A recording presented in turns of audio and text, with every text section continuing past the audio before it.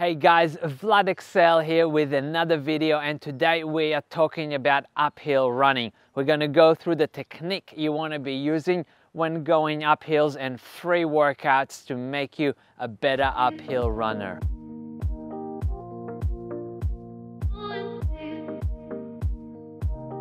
All right, so uphill running technique. So I'm not gonna reinvent the wheel here and tell you gonna be running uphill on your hands. Obviously, we're gonna be running the same way as you usually run. What you do wanna try and do is actually shorten your stride and keep everything as close as you can to your body. So I wanna be leaning forward and almost falling in, but not thinking about big arm swings or big striding steps.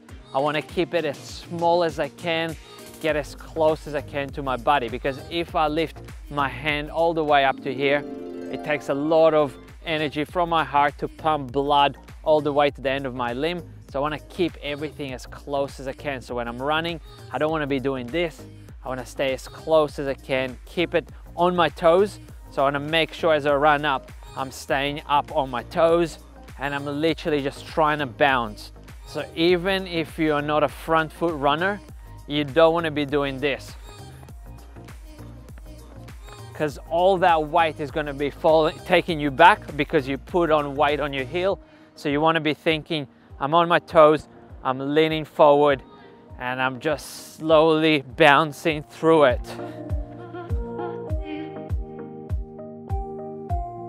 So a lot of people, when they do run uphill, um, you see them kind of stay upright and maybe walk. And even if you're getting super, super tired, you want to get to the point where you are leaning forward, that that gravity does a little bit of work. So running up, uphill, same kind of mentality. I'm in here. I'm really thinking about letting gravity do a bit of work and then making sure that all that weight falls forward and nothing is not on the back. That's why I'm really focused on landing on the front of my foot so none of that weight goes on my heel because I know when it goes on my heel I'm gonna be fighting against gravity to go up while all that weight is actually behind me. So if you're a trail runner and you've done some longer trail runs or trail races, you do know that you're gonna be hiking some uphills. Um, as a running coach and as somebody that worked with a lot of athletes in the past, this is what I usually get to see. When they get tired, their hiking just goes like that. They fall back. They might have their hands on their, on their hips and all their weight falls back. So even if you are super, super tired, you're very, very heavy, at least have your hands on your thighs. So at least that way you fall forward. You can hike using obviously your upper body is like speed hiking. But if you are getting to the point where you're really, really struggling, just lean forward. That way, at least the gravity goes forward and you move up, still at a slow pace, but you're still moving instead of kind of lean back, kind of doing this. And this is what I see a lot. And you're fighting against gravity. So from here, literally just lean forward, make sure your feet are facing forward, and then just go at the same pace, but make sure that you're leaning forward. So obviously the technique of running uphill is fairly simple. You lean forward, you stay on your toes, and you try and let gravity do some work, and you're on the right track. But to realistically, to be able to go faster uphill, that comes in the training. So you want to get to the point where you are fitter, you are stronger, and your VO2 max is higher. And personally, the three workouts that I like to do to improve that is the short one. So I try and go you know, I might start anywhere between 10 times one minute as hard as I can running uphill and then walking down. So for one minute, I'll really push the pace um, hard, hard, hard, trying to get to that maximum heart rate and then have about two minutes of walking slowly down or slow jog down. Um, so I'll do that workout.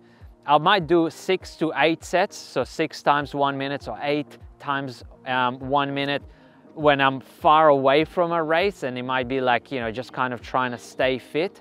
And as I get closer to a race, maybe like two months before a key race, that workout might be like 12 or 14 or 16 or even 20 times one minute. So I'm really pushing that envelope on my VO2 max. By far my favorite way of doing those VO2 max short efforts is on the treadmills.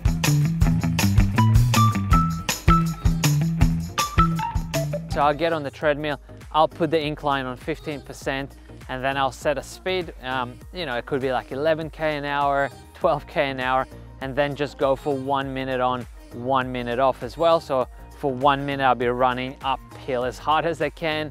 And then for the other minute, I'll be standing on the side of the treadmill, just bringing my heart rate down and then doing that again and again and again. So that's another option of doing that VO2 max workout while building up that strength in your legs and not over pushing it on your body. Um, so for example, if you do try and do a VO2 max workout on a flat road, you really have to stretch your muscles to the max.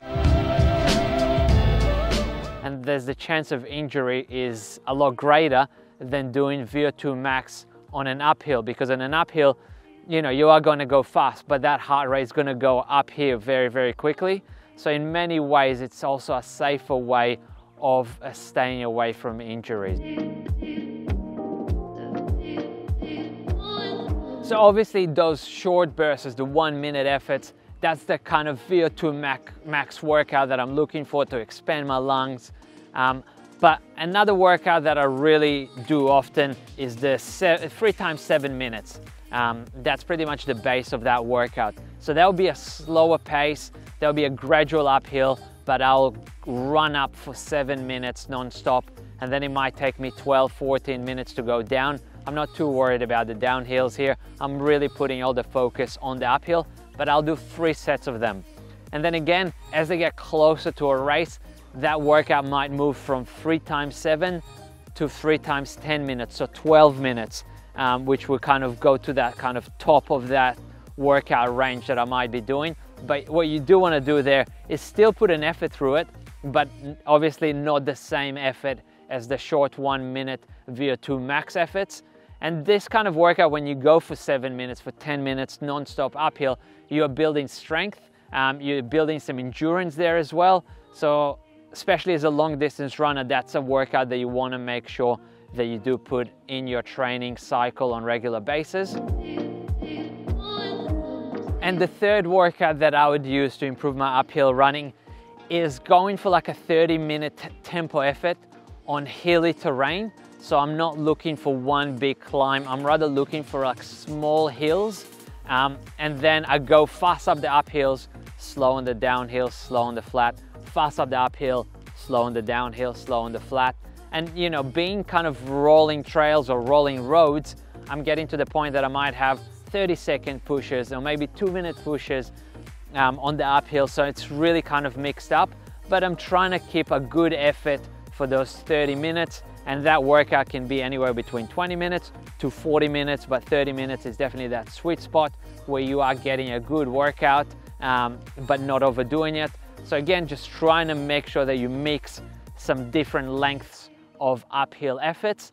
Um, and that just, you know, just trying to making sure that you find the right trail or road where it's just like rolling roads or trails um, that you do have the chance to go hard and then easy, hard, easy, hard, easy, but not to a certain amount of time. So that will be very mixed. Um, so really kind of giving the body that chance to guess and to improve a little bit more. On a side note, if you are a trail runner, you want to be doing specific hiking workouts. Um, so you don't want to get to the point where in a race is the only hiking that you really do. But same as uphill running, you can do the same workouts um, hiking, specifically if you're doing a race with a lot of elevation. You know, get on there and do 10 minutes of hiking non-stop and you can do three sets of that or hike as fast as you can for one minute, then walk back down, hike back again. So really put some focus into hiking because ultra running, really mountain technical trail running does require a lot of hiking and you want to make sure that you focus on that in your training and don't just get to the race and be kind of like, well, I can hike because anybody can hike. Um, you want to put specific work into that as well.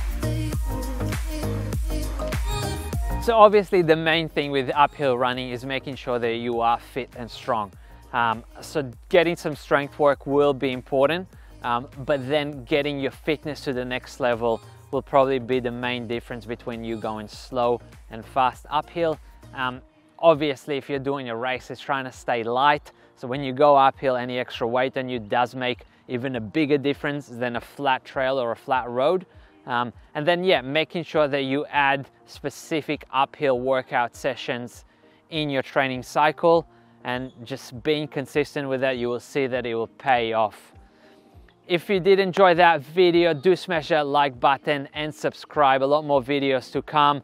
Um, if you do want a specific workout for uphill running, check the video out here.